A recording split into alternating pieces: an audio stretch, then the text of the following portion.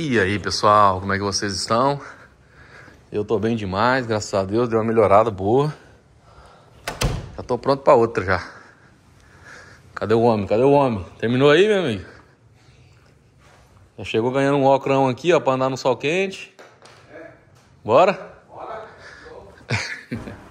ele quer dar uma volta aqui na vizinhança. Falei, bora, eu vou com você. Nós vimos mostrando e falando sobre o carro que ele já pegou ontem. Bota um tênis, viu? Tem que pegar os, coisas ali. Pega as coisas aí e bota um tênis, é melhor. É. Olha aí, gente, que solzinho gostoso que tá hoje. Olha o carro que o homem comprou. Mal chegou. Chegou ontem, já chegou comprando o carro, já veio com o carro pra casa. E o carro já tá aqui, ó. Já tá aqui, ó. Olha isso. Caraca, meu irmão. É alto, né? Comparado com o Tesla, ele é bem altinho, ó. Olha só. Aí eu falo pra você, nunca vi um negócio desse. Aí eu fiquei sabendo que lá na lá em Las Vegas, né, lá em Nevada, também é assim. Você compra o carro num dia, já já pega o carro, já registra, já na hora lá, já sai com o carro já na hora, entendeu? Olha aqui a placa, ó. Vou mostrar aqui para vocês, ó, foi comprado lá na BMC Silas. Olha a placona Flórida, tá vendo? É uma placa de papel. Aí depois que a placa de ferro chega, e aqui só precisa placa atrás né, ainda. Aqui em Massachusetts já é diferente, olha lá. Você só sai de lá da, do, do, da loja, né? Com o carro registrado com a placa de metal já, ó, de ferro. Ou de alumínio, sei lá que é feito isso. E tem que ter placa na frente também aqui, ó. Olha lá. Tem que ter placa na frente. Flórida não precisa de placa na frente. Como esse carro veio do Texas, ele tem esse acessório aqui, ó. Mas se quiser pode tirar. Pode desparafusar aqui, ó. E tira ele, pronto não precisa desse, desse acessório. O Tesla é a mesma coisa, se fosse registrado aqui na, na, na, na Flórida, né? Ele não precisaria dessa, desse acessório que tem colado aqui na frente, ó. Ele foi colocado aqui para poder colocar a placa, entendeu? Como meu, meu carro vai ficar sempre lá registrado lá em Massachusetts, eu não vou mexer. Mas eu queria perguntar para ele depois como que foi é, o plano né, que ele fez nesse carro para poder comprar. Porque eu deixei ele lá na loja e tive outro compromisso que é ali na plataforma internacional, onde vai ter é, aquelas palestras do Pablo Marçal. E aí ele ficou lá ajeitando tudo o carro, eu somente deixei ele na loja, ele resolveu tudo lá com, com o dono e o vendedor, né? E agora eu vou perguntar para ele como que foi, como que foi a negociação para ele poder pegar o carro e já sair com o carro. Cadê o homem? Tá demorando? Vamos ver o que ele tá fazendo. Bora, meu jovem. Bora aí. Tá.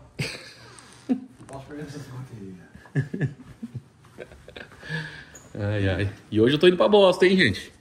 Daqui a pouquinho tô saindo pra Boston. Tem que estar tá lá no aeroporto 6h45 com o meu voo. O embarque é 8 e 8h45. E hoje a piscina foi limpa também. Aí ontem eu vacilei, gente. Eu deixei a água ligada. Acabou que ela encheu bastante. Ficou bem até a tampa aqui, ó. Tá um dedinho pra fora aqui só. Já tá limpinha hoje, se quiser tomar banho aí, já tá liberada. E ela deu até uma lagada pra cá, ó. Ou foi chuva, sei lá o que aconteceu. Acho que não, acho que ela deu uma lagada mesmo, que tá molhada aqui, ó. Mas enfim, não deu nada não. Tá de boa. Não entrou água pra dentro de casa, não alagou nada. e aí, vou largar um pouquinho esse sol maravilhoso aqui, rapaz. Tô até pensando. Lá em Boston fez 0 grau ontem de noite, de madrugada. E hoje, tá, agora tá dando 11 graus. Aqui tá 27 graus. Será que eu vou ter uma, um choque térmico lá, hein? De 27 cair pra 11? Vixe, vai. Tô ferrado. ai, ai, eu preciso começar a ler esse livro aqui, ó. Trabalhe 4 horas por semana. Fuja da rotina Viva onde quiser e fique rico. Olha aí, gente. Será que fica rico lendo esse livro? Vou ter que começar a ler ele. Começar a ter hábitos de ler livro. Entendeu? E vamos que vamos. Vamos que vamos. Eu quero perguntar as coisas pra esse homem, mas ele tá ajeitando ali as coisas dele ainda. Nossa, cara, mas olha só esse clima. Olha isso, gente é muito, muito top, né? Só de saber que isso aqui é o ano todo também. Tava até conversando com ele aqui agora recentemente, antes, antes da gente sair, que lá em Massachusetts geralmente, né? pessoal não gosta de vir muito nessa época de outubro, novembro, dezembro, janeiro, fevereiro. Por quê? Porque lá é muito frio e acaba que afunila um pouco os trabalhos, entendeu? Não vou falar para você que é 100%, mas uma boa quantidade de trabalhos fica um pouco mais escasso. E aqui não, aqui o ano todo é calor, então não tem essa desculpa de, de reduzir trabalho nem nada. Aqui é, é quem corre mais atrás, né? O mais rápido vai engolir os mais, mais lentos aqui. Não é os maiores que engolem os mais, mais pequenos, não. Entendeu? Já era? Abre aí o carro aí, vamos entrar. Olha o carrinho dele aí, gente, ó.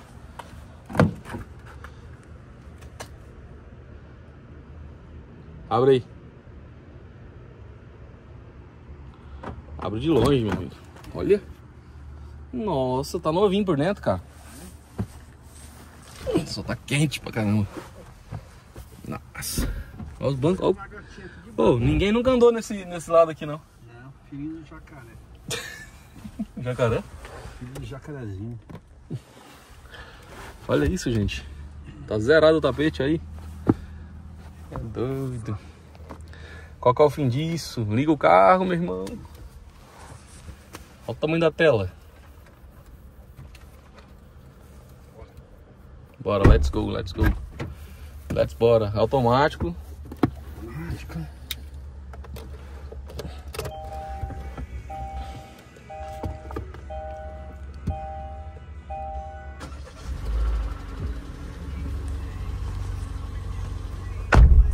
Só ligar o ar agora. Botar aqui no 3 aqui, ó. Ah, aí sim, meu amigo. Agora ventou bonito. Agora a pergunta que não quer calar, meu amigo. Fala pra nós como é que foi aí a proposta pra você pegar esse carro. Proposta. Você imaginou que você ia pegar um carro e sair no mesmo dia assim? Não sabia não. Nem no Brasil, acho que o cara não faz isso mais, né? Não, eu nem. Lá não consegui comprar um carro. Sério? Não conseguia. Mas você é de São Paulo, tudo e tal. Conseguia não. Caraca, Eu cheguei aqui, foi muito fácil. Mas também o Ronizério deixou tudo meio mastigado já. né? Nigéria é o cara, é o caminho. Me acompanhou, fez assessoria, me levou lá na loja.